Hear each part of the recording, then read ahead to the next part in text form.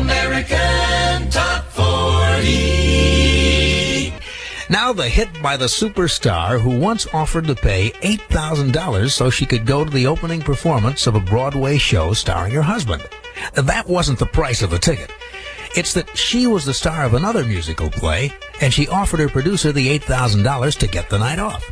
That's how much they figured he'd lose at the box office if her understudy went on. But the opening of her husband's show, Drat the Cat, was postponed for one night, which meant it would open on her day off. So she got to see the opening of her husband, Elliot Gould, and it probably didn't cost her more than 480 for a good seat in the balcony. With the number 27 song this week, Stoney End, here's Barbra Streisand.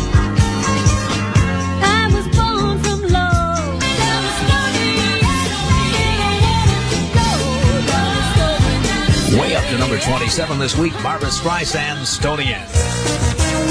This is Casey Kasem. We're counting them down. We got two big hours to go and 26 hits here on American Top 40. Stay right there.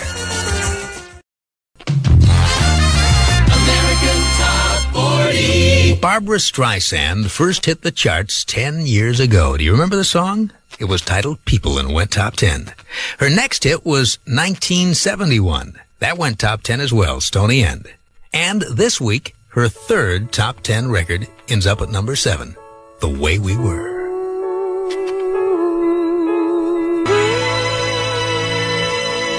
From 11 to 7, Barbra Streisand with The Way We Were.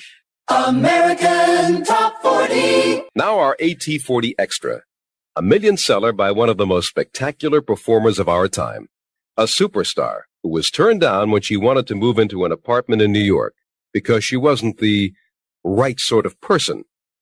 Now, this artist had won all kinds of Broadway awards for her portrayal of Fanny Brice. She'd won an Oscar for her very first movie. She'd been named Entertainer of the Year by the Friars Club, and she'd been greeted by royalty at a command performance of her movie in London.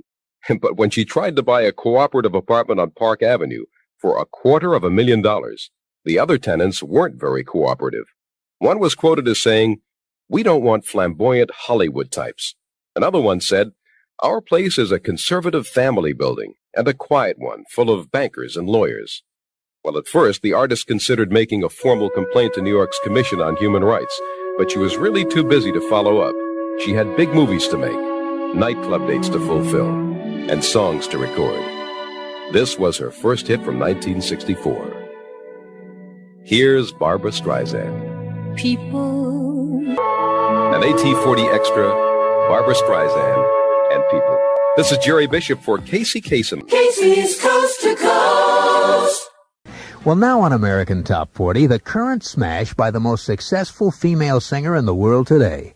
A superstar who says that her first husband fell in love with her because she reminded him of his two favorite people, movie star Sophia Loren and former football great Y.A. Tittle. The singer and actress met her ex-husband when they worked together in the Broadway play I Can Get It For You Wholesale. That was way back in the early 60s. He was the handsome singer, dancer, and actor who played the leading man in the show. And she was the supporting actress who played the unloved and unnoticed secretary, Miss Marmelstein. Well, in spite of the fact that he was already much more successful than she was, the actor says it took a long time before he worked up the courage to ask her for a date. But when he finally did, the relationship clicked, and eventually they got married. They went on to become two of the most popular and successful entertainers in the world. He's movie star and former husband, Elliot Gould. And she, of course, is international superstar Barbra Streisand. Her latest hit, a former number one smash, comes from one of the most popular motion picture love stories of the past few years. Dropping this week to number nine, here's Barbra with Love Theme from A Star is Born. Barbra Streisand with a song that's become a classic. It's been in the top 10 for 11 weeks, three of those weeks at number one. Love Theme from A Star is Born. We're eight hits away from a new number one record.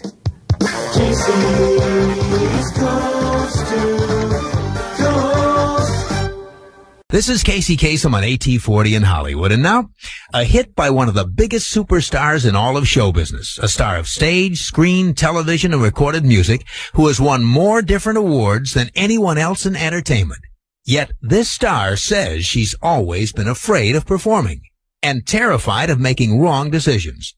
And it's that fear that's given Barbra Streisand her reputation as one of Hollywood's toughest ladies. But according to Barbra, that's just been a facade. She says, I've been frightened all my life, but I always had to be in charge. I was terrified of being on stage, terrified of forgetting lyrics, terrified of power. But now I figure that life is short and I lived too long in terror of offending people, worrying about how I looked, how I was, had I been nasty. Now it's like becoming an adult. End of quote. That's what Barbra Streisand, one of the strongest women in show business, had to say about the part of her few people ever see. The frightened side of Barbra Streisand. Without a trace of fear in her voice, at number 19 this week, here's Barbra Streisand with the hit song, Fight. Barbra Streisand at number 19, falling from number 11. The former top 10 record is the main event, Fight, as the countdown rolls on. Coast coast. Well, now we're up to the latest hit by the superstar with a super nose, who says she needs it to sing through.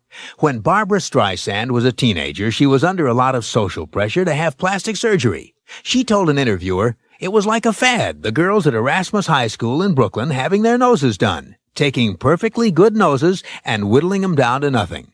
But Barbra wouldn't trust anybody to operate on her nose, and she said that later on she found out her nose has what they call a deviated septum, and that's what gives her voice the special Streisand sound. She said, if I ever had my nose fixed, it would ruin my career. Well, what Telly Savalas did for baldness, Barbra Streisand has done for large noses. This week, she debuts at number 39 with her latest. Kiss Me in the Rain. Barbra Streisand debuting at number 39 in American Top 40 with Kiss Me in the Rain.